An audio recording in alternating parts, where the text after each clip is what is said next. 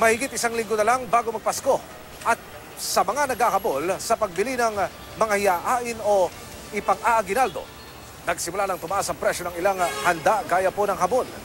Iyan pati presyuhan ng mga panregalo sa report na ito. Tight ang budget nyo ngayong Pasko, pwedeng sa night market sa tutuban makabili ng murang pangregalo. Mabenta ang mga laruan na tig 25 piso. Isandaan naman ang pinakamurang staff toy. Ang mga action figure at remote-controlled car, 300 hanggang 320 pesos.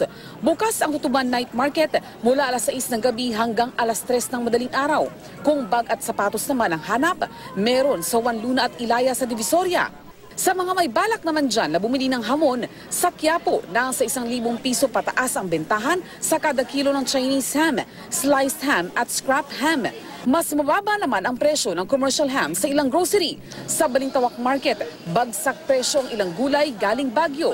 Ang labanos at repolyo, wala pang 15 pesos kada kilo. Hanggang 45 naman sa carrots per kilo. Marami kasi yung mga kalakal sa Bagyo eh. Saka sabay, sabay-sabay siguro kan kani. Pero sa Kamuning Market, nagmahal na ang bentahan ng sibuyas. Mataas pa rin ang presyo ng ilang klase ng isda, gaya ng tilapia, galunggong at tulingan.